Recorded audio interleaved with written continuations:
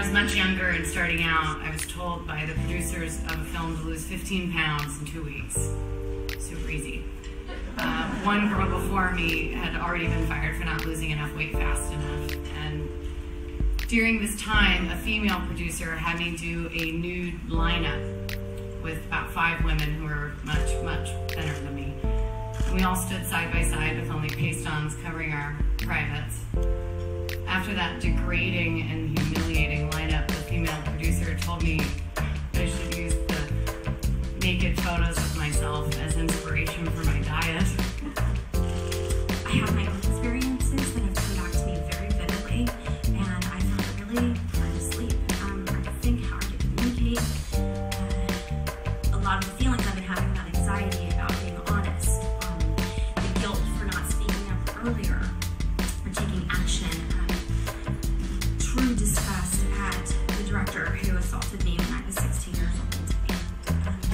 anger that I felt at the agents and the producer.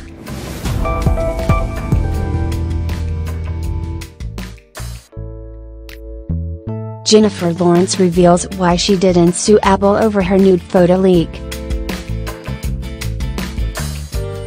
Never one to hold much back, Jennifer Lawrence opened up on an array of topics including Harvey Weinstein, her nude photos leaking in Apple's iCloud hack, and the release of her emails in the Sony cyber attack in a podcast with The Hollywood Reporter on Monday.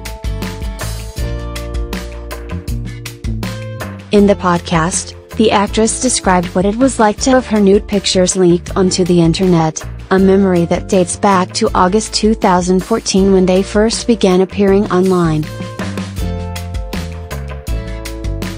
When the Apple hacking thing happened, it was so unbelievably violating that you can't even put it into words, said Lawrence. I think that I'm still actually processing it.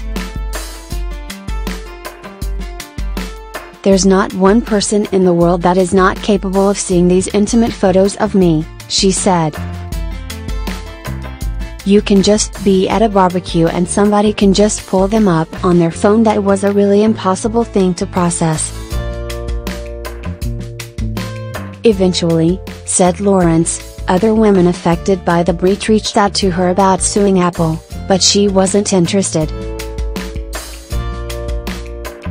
None of that was gonna really bring me peace, none of that was gonna bring my nude body back to me and Nick, Hoult, Lawrence's boyfriend at the time, the person that they were intended for, said Lawrence.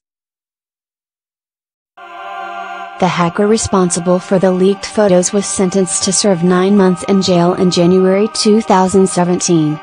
In November of 2014 three months after the photo leaks Lawrence's personal data was again dumped onto the internet as a part of the Sony hack. Included among the trove of emails and documents was information that showed how Lawrence had been paid less than her co-stars for the 2013 drama American Hustle. It brought up something I was not prepared to talk about publicly, which was gender discrimination pay gap, said Lawrence. But then, you don't always choose those moments. I'm sure all these women didn't choose this watershed moment for Harvey Weinstein.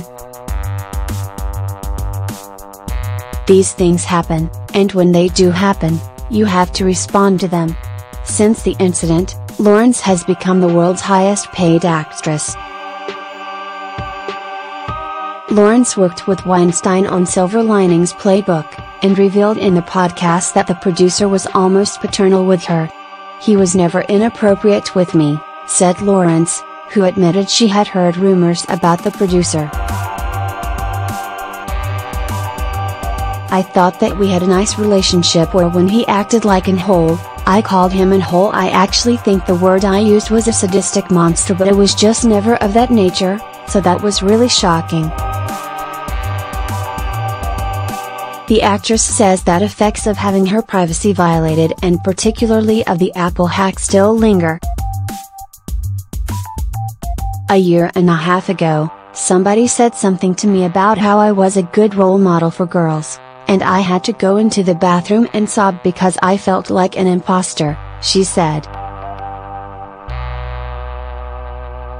I felt like, I can't believe somebody still feels that way after what happened. It's so many different feelings to process when you've been violated like that.